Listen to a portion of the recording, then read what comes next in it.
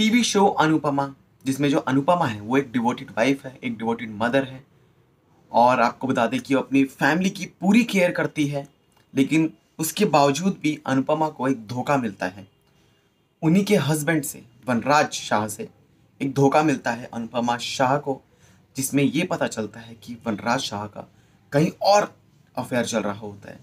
और किस तरह से अनुपमा को जो ये दुख मिलता है कि वो जब इतना बहुत कुछ करती है अपनी फैमिली के लिए और किस तरह से अनुपमा के हस्बैंड का ही अफेयर पता चलता है और किस तरह से अनुपमा जो है, वो पूरे दिन तक बेहोश रहती है, वो सांस लेना चाहती है, पर फिर भी वो सांस नहीं ले पाती। उनकी जो हेल्थ है, ख़राब हो रही है और उसके बाद आपको बता दें कि जो हस्बैंड है अनुपमा का, वनराज सो वनराज भी काफ़ी दुखी होता है, लेकिन अनुपमा ने बता दिया, बोल दिया वनराज को कि धोखेबाज हो तो तुम।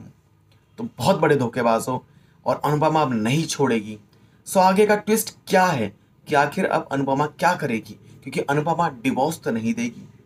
लेकिन आपको बता दें कि अब आगे का जो ट्विस्ट जो आने वाला है, वो ये आने वाला है कि अनुपमा जो है, वो अपने मंगलसूत्र को जला देगी। जी हाँ क्योंकि अनुपमा की जो हेल्थ है, वो ख़राब होती जा रही है।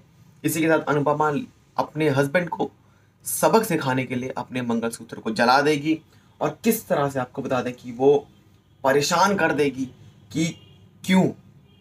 आखिर क्यों किया मेरे साथ ऐसा? तो आपको बता दें कि किस तरह से अब वो अपने हस्बैंड को मज़ा चखाएगी और किस तरह से जो अभी दुख से जो निकल रही है अनुपमा, वो अपने मंगलसूत्र को जला देगी। सो ऐसी ट्विस्ट के लिए चैनल से साथ बने रहिए, ऐसी अपडेट्स मैं आपको देता रहूँगा।